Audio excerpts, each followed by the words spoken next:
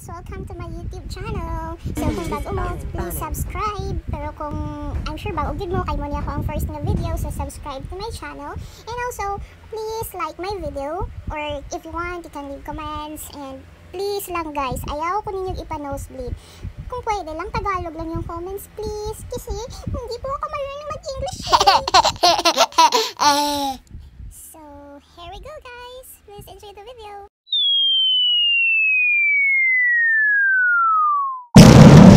Hello mga amiga, mga amigo. Ali na mo tanaw ta sa amo ang dula. So karon akong gigamit si ah, Johnson which is ang akong kauban si Odette. Gamit ni Ads 05. So ayan guys. Um, enjoy our game and sana makakuha din kayo ng mga ah, tricks kung kung paano magiging bad driver pero nakakapatay din naman. Ah, okay, so ayan. So the game's going to start. Oh, ayan, si Nana pala yung ano natin dito, kalaban natin sa mid. Alam mo yung ang hate ko kay Nana, yung ano niya, yung SS niya masakit. Tapos yung may power siya na pag pinatay mo siya, pwede pa siyang matatakbo, which is yung nakakagigil kasi magamit mo yung sprint mo para pag gusto mo lang talagang mapatay siya. Yung nakakagigil, yung parang, yung parang ang ex ko lang, nanggigigil ako. Yung nanggigigil ako sa galit na parang gusto ko siyang patayin. Ha, joke lang. Joke lang, pwede naman po talaga ako ganun ka savage na papatay ako ng tao. Nakamove on na po ako and happy na po ako. Happy na po ako para sa kanila. na tayo, parang nakikita ko na talaga yung victory natin dito. Yung, alam mo yun, yung pangmalupitan na victory natin. Ayan! So kami na talaga yung pinakamagaling nito. Kaya nga yung sinasabi ko sa inyo, yung mga nag gumagamit ng Johnson, yung gumagamit ng mga Odette, pag nag-combo yun, nako, malupit yun. Tsaka, isang ano pa talaga, isa bang katotohanan nito guys, number one na ano to, na Johnson. Di ko lang sasabihin kung saan kasi for sure hahanapin nyo. Tsaka itong Odette, number one din. Hindi ko rin sasabihin kung taga saan si Odette para hindi nyo mahanap. Secret lang namin yun.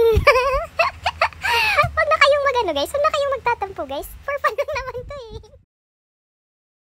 So guys, since medyo napagod ako, bibigyan ko muna ng ano, ng background music tong game namin hanggang sa matapos. Tapos matutulog lang muna ako, enjoy lang muna kayo sa pa- pagpanood ng game namin. Tapos ayun, gisingin niyo lang ako pag tapos na. Alam niyo yung um yung yung kanta, ano ba yung kantang yun? Yung um yung parang just wait wake me up when December I know, hindi ganyan, hindi ganyan yung anong yung ano pukawa lang ko kung buwag na mo. Oh, yun, yun pala yun. so, ganun din. Paligoy-ligoy pa, guys. Gusto ko yung mag-subscribe kayo sa akin para naman kumita ako kasi nga naka-lockdown ngayon, ba? At saka nagawa ko lang naman tong video na to kasi lockdown ako. Alam mo yung feeling na ikaw lang yung mag-isa. Which is, sanay naman akong mag-isa lang. Pero, ano pa rin, yung parang, ang hirap pa rin pag ikaw lang mag-isa, wala kang kasama. Yung, yung at least nun lang, 'di ba? Kung sino man yung may isa lang na nanonood sa video na 'to, at least dalawa na tayo. Parang bakit gusto kong magsalita na lang dito? Parang ayaw kong mag ano, maglagay ng music ng background kasi mas gusto ko yung ano, kakwentuhan kayo. Kasi nga 'di ba, ako nga lang paulit-ulit na lang ako. Ako nga lang mag-isa.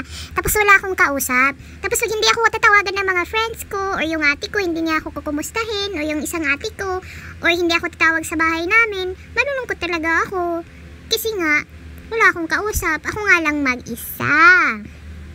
Kaya, yung time ko, i-google ko na lang dito, baka naman may mag-isang tao din dyan, somewhere sa sulok ng Pilipinas, na, okay, sasabihin kong sulok ng Pilipinas guys, kasi Tagalog ang ano na to, ang video na to, hindi to English, hindi to maiintindihan ng mga ano, ng mga foreigner. Kaya, di nila alam kung ano yung sinasabi ko. So, intended lang talaga to sa mga ano, mga Pilipino or sa yung nakakaintindi ng Tagalog. Intended lang to sa taong yun na mag-isa, na malungkot, na gustong sumaya, Cheers guys, kasi dalawa na tayo, hindi ka nag-iisa dyan, may kasama kang multo. Biro lang.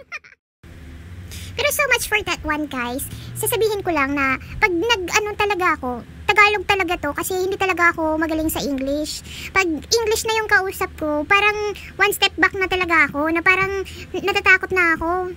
Kaya kung magko-comments man kayo, wag yung English sa baba kasi hindi ko rin naman yan maiintindihan. If if lalaitin nyo man ako using yung English na mga words, parang sa isip ko, ay, ano to, words of appreciation, kaya walang kwenta. Tagalog, pag lalaitin nyo ako, Tagalog yung isus gagamitin nyo na ano, na language or na mga words or yung Bisaya, kasi Bisaya ako.